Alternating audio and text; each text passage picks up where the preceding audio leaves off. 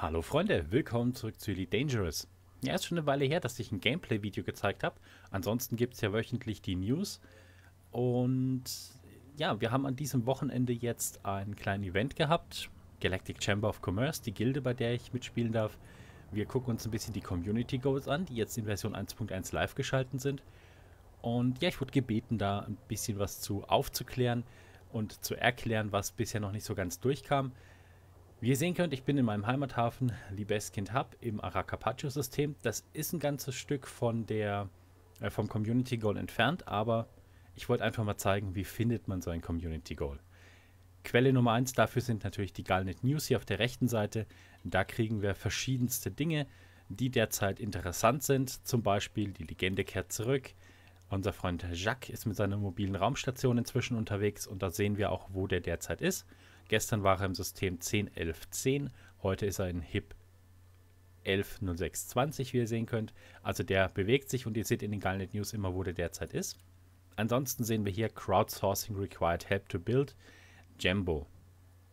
Das hier, Crowdsourcing Required Help, sowas ist dann einfach ein Community Goal, ist derzeit, soweit ich das sagen kann, das einzige offene, aber da werden in Zukunft noch einige mehr kommen. Worum geht es hier? Die wollen eine neue Raumstation bauen. Und zwar im System HIP 101110, wo Jacques gestern noch unterwegs war.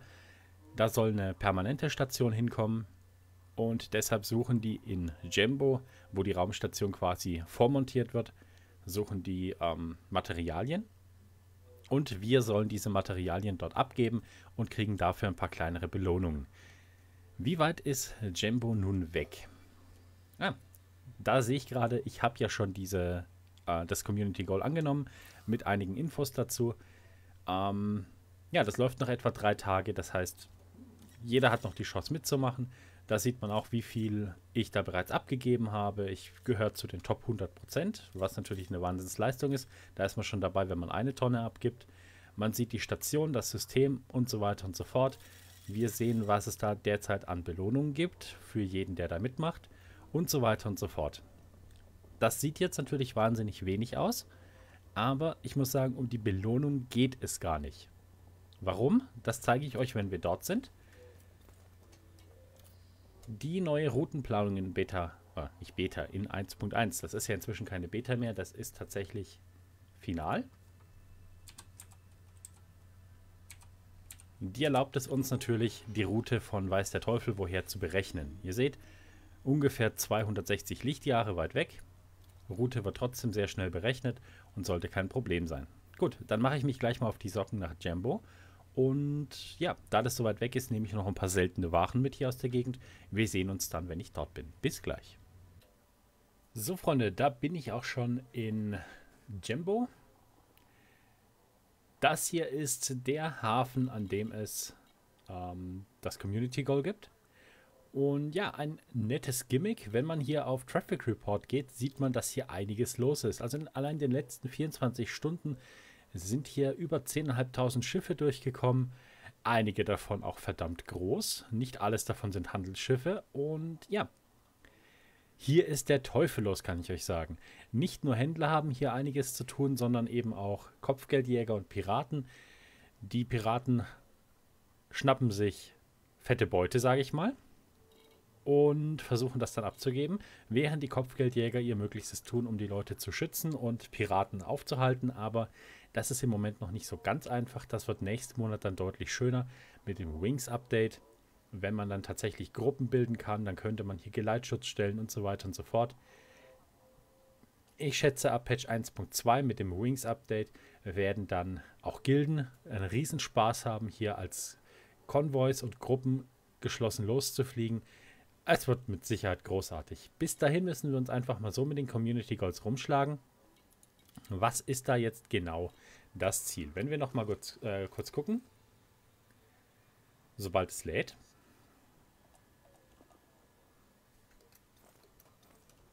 Da haben wir es. So, ihr seht, ich habe jetzt noch mal 100 Tonnen Metall abgegeben. Ich bin jetzt schon bei den Top 70% dabei. Das ist eine ziemlich nette Sache. Das heißt, ich kriege auf jeden Fall schon mal 5000 Credits, wenn dieser Event zu Ende geht. Und zusätzlich noch eine globale Belohnung. Die bekommt jeder, der ein bisschen was abgegeben hat. also mindestens eine Tonne Material. Globale Belohnung wäre zum Beispiel, dass wir an diesem Raumhafen 5% Nachlass auf alle Dienste erhalten. Das heißt, Waren sind immer noch genauso teuer wie vorher auch. Dienste wären Reparaturarbeiten und Auftanken. Da bekommt man für 9 Tage 5% Rabatt. Wäre gar nicht so schlecht, wenn man das hier öfters anfliegt. Ihr seht, wir sind derzeit erst im Second Tier. Das ist hier auf der rechten Seite der Mission zu sehen. Das Ganze geht hoch bis zum achten Tier. Und je mehr Stufen man hier freigeschalten hat, desto größer wird auch die Gesamtbelohnung. Die globale Belohnung bleibt gleich, aber hier unten die Gesamtmenge an Geld, die ausgeschüttet wird, die steigt mit der Stufe, die man hier erreicht. Das heißt, wenn wir zum Schluss die achte Stufe abschließen würden, dann wären die Belohnungen für jeden, der mitgemacht hat, deutlich größer, als das jetzt der Fall ist. Ist ganz klar. Aber diese Belohnungen sind, wie ich vorhin schon gesagt habe, nicht der Hauptgrund, warum man hier mitmachen sollte. Zum einen, dieser Event bietet die Möglichkeit, aus Elite endlich mal ein Multiplayer-Spiel zu machen. Hier sieht man wahnsinnig viele Kommandanten, kann Kontakte knüpfen, kann mit Leuten sprechen. Ich habe gestern auch eine Weile mit mir völlig unbekannten Leuten gechattet. Warum auch nicht? Aber der für die meisten Leute wahrscheinlich wichtigste Grund ist, hier kann man abgesehen vom Event unglaublich viel Kohle machen. Denn wenn man zum Beispiel aufs Bulletinboard geht, sieht man natürlich Community Goals, man sieht, wie weit man ungefähr ist und so weiter. Sieht hier nochmal die Tiers und die ganzen Belohnungen etc. Wenn man hier mitmachen möchte, muss man in das Bulletinboard gehen, muss dieses Ding öffnen und dann hat man hier unten rechts einen Button Sign Up oder Einschreiben, wie das auch immer im deutschen Client dann heißen wird. Ähm, das muss man akzeptieren, um hier überhaupt was mitzumachen. Man kann auch von der ganzen Geschichte profitieren, ohne da mitzumachen, aber warum sollte man sich dann da nicht einschreiben und noch die paar Credits mitnehmen, die es gibt, plus die globale Belohnung? Ihr seht schon, ich kann hier nichts abgeben. Das liegt nicht daran, dass ich derzeit meinen Frachtraum leer habe. Das liegt einfach daran, dass man bei dem äh, Community Goal nichts abgeben kann, wie man das bei anderen Missionen macht. Die schließt man nicht einfach ab, die Mission, und muss sie immer wieder neu machen. Ähm, stattdessen geht man in den Communities, äh, Commodities Market. Und ihr seht, bei Metallen ist überall eine enorme Nachfrage und die Stückpreise sind wirklich, wirklich gut. Ähm, das ist der Hauptnutzen von einem Community Goal. Die wollen Metalle, ganz egal welche, und die sind hier im Handel enorm nachgefragt. Das heißt, sobald ihr die Möglichkeit habt, von irgendwo aus der Umgebung günstig Metalle zu kaufen und hier abzugeben, könnt ihr pro Flug unglaubliche Summen Geld machen. Ich habe gerade eben mit einer Frachtraumladung, also 100 Stück Gold, fast 160.000 Credits Gewinn gemacht. Reiner Profit. Das ist für einen einzelnen Flug wirklich ganz hervorragend. Und ja, das kriegt man hier in nicht mal 50 Lichtjahren Umkreis. Da kommt man mit zwei Sprüngen leicht hin und kommt auch mit zwei Sprüngen leicht wieder hierher zurück. Ich weiß, es gibt da draußen Routen, die sind noch gewinnträchtiger, die bringen noch mehr ein. Und mit der Zeit werden die umliegenden Sachen aufgefressen sein. Das heißt, da wird man in der näheren Umgebung kein günstiges Metall mehr kaufen können, weil da so viele Spieler mitmachen. Aber bis dahin kann man hier richtig was abstauben und eine ganze Menge Geld machen. Das Ziel am Ende, die Community Gold Belohnung, ist dann wirklich nur noch ein Tropfen auf den heißen Stein und soll auch nicht dazu gedacht sein, alles hier zu rechtfertigen, sondern ihr macht, während ihr daran teilnehmt, schon jede Menge Gewinn. Und darauf kommt es an, man ist hier mit Gleichgesinnten unterwegs, mit Leuten, die das gleiche Spiel spielen. Das ist ein Multiplayer-Erlebnis und das fokussiert die Leute. Im Forum beschweren sich unglaublich viele, dass die Galaxis zu groß ist, dass man nie andere Spieler sieht. Hier habt ihr die Chance, kommt hierher. Hier sind wahnsinnig viele Leute unterwegs. Ihr habt es gesehen, in den letzten 24 Stunden über 10.000 Schiffe. Ähm, hier sind Gilden unterwegs, die gemeinsam fliegen. Es sind praktisch alle Leute vertreten. Ihr habt hier in der näheren Umgebung auch mehrere Möglichkeiten, Mining zu betreiben, Ressourcen abzubauen und das Metall direkt zu erhalten ohne es hier irgendwo einkaufen zu müssen. Dann könnt ihr das natürlich für riesige Gewinnspannen verkaufen. Ähm, hier gibt es eigentlich für jeden was. Das ist ein riesiges Bauprojekt. Und wenn ihr tatsächlich unter die Top 3 Commander kommt, dann gibt es eben nochmal eine ganze Menge Kohle. Okay, so viel denke ich mal erst zum Community Goal. Wie finde ich jetzt raus, wo ich irgendwas sammeln kann? Wo kriege ich das Zeug her? Ein schönes Beispiel wäre jetzt zum Beispiel Gold. Das ähm, ja, habe ich mir ausgesucht zum Handeln, weil da die Gewinnspanne an sich schon wirklich gut ist. Ihr seht, es gibt eine ganze Menge Systeme, wo man Gold bekommen kann. Die sind nicht alle in der Nähe. Ich schätze, der Server merkt sich einfach, von wo das Gold hierher gehandelt wurde. Und alle Spieler, die Gold abgeben, haben das irgendwo gekauft und dann wird jetzt eben hier als importiert von gekennzeichnet.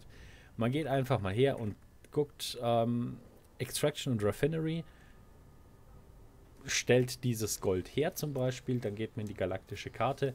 Und wenn man jetzt nicht unbedingt diese Suche hier benutzen möchte mit Gold, dann kann man auch manuell mal ein bisschen gucken, wobei man sieht hier schon, hier würde es Gold geben.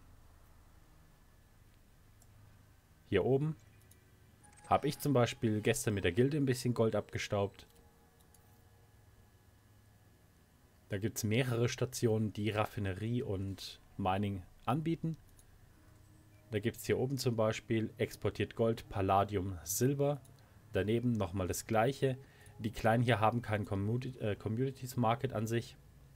Aber die beiden hier zum Beispiel sind große Raumstationen, wo man Gold schon kriegt. Da gibt es jede Menge Systeme hier in der Umgebung, die das anbieten, die Gold exportieren. Ihr seht schon, hier gibt es was, da unten. Unglaublich viel. Und man muss sich ja nicht auf Gold beschränken, man kann alle möglichen Metalle mitnehmen. Ihr seht, dort gibt es Nachfrage für sämtliche Metalle. Das heißt, wenn ihr auf dem Weg hierher seid und günstig mit ähm, irgendeinem Metall einkaufen könnt, könnt ihr auch mit vollem Frachtraum anfliegen. Schon mal direkt am Anfang ein bisschen Gewinn machen. Denkt aber dran, auf jeden Fall die Mission anzunehmen. Und ja, die wird jetzt noch ein paar Tage laufen. Würde mich freuen, wenn wir uns hier vielleicht sehen könnten. Gilden-Event läuft heute Abend auch nochmal. Das heißt, ich bin auf jeden Fall heute Abend nochmal hier. Das heißt, ja, für euch wahrscheinlich nicht mehr heute Abend so schnell werde ich das Video wahrscheinlich nicht online gestellt kriegen. Aber ich tue, was ich kann und dann sehen wir uns hier vielleicht. Okay, so viel mal zum Community Goals. Ich hoffe, es hat euch gefallen. Wenn ihr Fragen habt oder irgendwas dazu sagen wollt, ab in die Kommentare damit. Was haltet ihr davon? Findet ihr erstmal, das ist ein guter Ansatz, aber man müsste die Mission Belohnung am Schluss noch ein bisschen aufbohren? Das ist ein bisschen dünn. Oder sagt ihr euch, naja, Sinn und Zweck der Sache ist, dass viele Leute zusammenspielen und man kann, während man diese Mission quasi erfüllt und mitmacht, schon genug Geld machen. Was haltet ihr davon? Lasst es mich wissen und ansonsten sehen wir uns in einem der nächsten Videos oder vielleicht hier. Bis dann, macht's gut, haltet die Ohren steif. Ciao, Freunde.